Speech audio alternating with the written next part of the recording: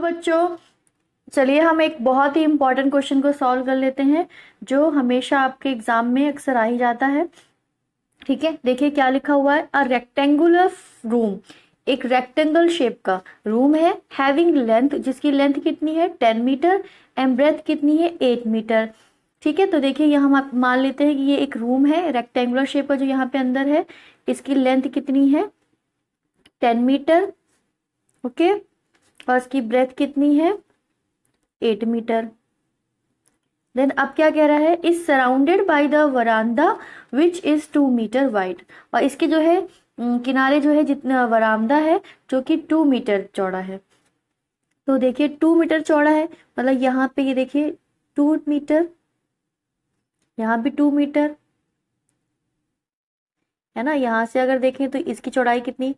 To metre होगी ना तो ये कितना? टू मीटर चौड़ा है। Find the area of veranda veranda की एरिया निकालना है।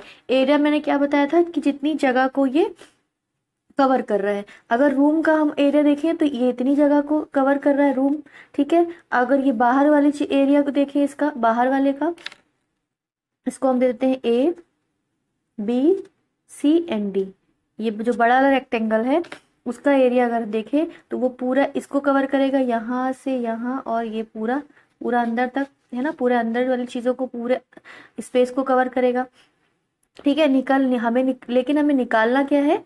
इस वरांदे का एरिया किसका निकालना है? इसका। देखिए मैं इसको शेड कर दे रही हूँ।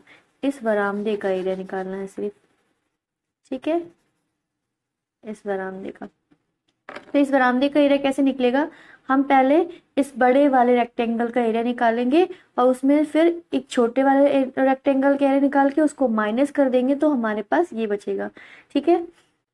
Area of rectangle area of rectangle क्या होता है? एल मल्टीप्लाई बाई बी मतलब लेंथ इंटू ब्रेथ लेंथ कितनी दी हुई थी? लेंथ यहाँ देख लीजिए। लेंथ इस छोटे वाले के लिए। एरिया ऑफ़ रेक्टेंगल यहाँ ब्रैकेट में दे दे रहे हैं। किसका रेक्टेंगल यहाँ पे दे देते हैं E F G H area of rectangle किसका? ई एफ़ जी एच का। और इसकी लेंथ कितनी हो जाएगी? Triangle E F G H की जो लेंथ है, वो कितनी है? Ten metre okay? और ब्रिथ कितनी है इसकी? चौड़ाई एट मीटर है। अब यहाँ पे रख दीजिए। Ten metre multiply eight metre कितना आ जाएगा आंसर एट्टी मीटर स्क्वायर ठीक है? अब यहाँ ध्यान दीजिए। अब बड़े वाले रेक्टेंगल का एरिया निकालेंगे। बड़े वाले रेक्टेंगल का जो रेक्टेंगल कौन सा है? A B C and D का। इसकी लेंथ कितनी है? लेंथ आप निकालिए। इसकी लेंथ क्या हो जाएगी? यहाँ से यहाँ तक का क्या है? टेन सेंटीमीटर है। और ये बड़ी वाली की लेंथ कितनी होगी? यहाँ से टू ऐड हो जाए क्योंकि इसकी जो बरामदा है, उसकी चौड़ाई कितनी है? Two metre. यहाँ से भी देखिए, इसकी बरामदे की चौड़ाई कितनी है? Two metre. तो यहाँ टू, ये टेन और ये टेन मिला करके ये इसी के बराबर तो हो रहा है। तो क्या लिखेंगे? इसकी लेंथ कितनी हो जाएगी? Ten plus two plus two. कितना हो जाएगा इसकी लेंथ? Fourteen metre. है ना? मीटर में है तो मीटर। देन इसकी ब्रेथ अगर देखें तो ब्रेथ कितनी होगी? यहाँ से देखिए, ये इसकी ब्रेथ मतलब ये पूछ रहा है। तो यहाँ से यहाँ तक की डिस्टेंस पता है, हमें एट है, और यहाँ पे ये देखिए, ये यहाँ पर टू है, और यहाँ भी ये टू क्योंकि ये बरामदा है। तो two plus two plus eight मिलाकर ये वाली लेंथ मिल जाएगी हमें। तो लिख देते हैं two plus two plus eight कितना हो जाएगा? Twelve metre. इसका एरिया निकाल लेते हैं हम। एरिया ऑफ़ रेक्टेंगल कौन सा रेक्टेंगल किस फ़ील्ड का? ए बी सी डी का रेक्टेंगल निकालना है, जो कि लेंथ इंटू ब्रेथ होता है। निकाल, लिख देते हैं लेंथ कितनी है? फोर्टीन मीटर और ब्रेथ कितनी है?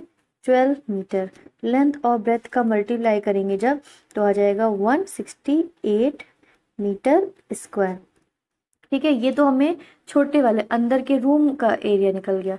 और फिर ये बाहर वाले का, हमने बड़े का लिया, पूरे का, उसमें से इतनी, इतना ये वाला निकाल देंगे रेक्टेंगल तो ये बरामदे का एरिया निकल जाएगा। तो एरिया ऑफ़ क्या लिखेंगे हम लोग यहाँ पर? एरिया ऑफ़ बरामदा। इज़ इक्वल टू क्या हो जाएगा? एरिया ऑफ़ रेक्टेंगल कौन सा? बड़ा लिखिए ए बी सी डी में से एरिया ऑफ़ क्या माइनस कर देंगे? एरिया ऑफ़ रेक्टेंगल ये वाला ई एफ़ जी एच का। ठीक है? ये सेपरेट कर दीजिए इसको यहाँ से। ठीक है? अब ध्यान दीजिए यहाँ पर area of A B C D कितना है? 168 मीटर स्क्वायर देखिए, यहाँ पर area of A B C D 168 metre square और एरिया ऑफ़ ये छोटा छोटा वाला जो रूम का रेक्टेंगल एरिया था, वो कितना है? 80 मीटर स्क्वायर 80 मीटर स्क्वायर जब इन दोनों को माइनस करेंगे तो 88 मीटर स्क्वायर इसका एरिया मिल जाएगा, जो कि बरामदा का एरिया है। ये हमारा क्या आ जाएगा? आंसर तो ये बहुत ही इंपॉर्टेंट क्वेश्चन है। इसको आप ध्यान से समझिए। जब भी हमें क्या निकालना होता है? बरामदे का मतलब ये यहाँ पे इस, निकालना है इसका। इसके किनारे एक रूम है उसके, किनारे किनारे क्या है? बरामदा है। और बीच में क्या है? रूम है। तो रूम का एरिया हम निकाल, निकालेंगे। और ये बड़े वाले का जब निकालेंगे तो उसमें ये पूरा आ जाएगा। ये पूरी चीज़ कवर कर लेगा। उस पूरी चीज़ में इस रूम के एरिया को माइनस कर दें तो ये बरामदा ही तो बच जाएगा।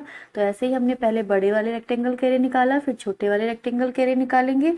और बड़े वाले में से छोटे वाले रेक्टेंगल को माइनस कर देंगे तो हमें जो मिल जाएगा वो बरामदे का एरिया मिल जाएगा। मतलब कि इसका एरिया निकल जाएगा, इसका। ठीक है? आई होप कि आपको ये क्वेश्चन समझ में आ गया होगा। आपको ये ये आप जो है, इस क्वेश्चन इस तरह के क्वेश्चंस को और भी सॉल्व करिएगा, जिससे कि आपके सारे डाउट क्लियर हो जाए। ओके थैंक यू बेटा।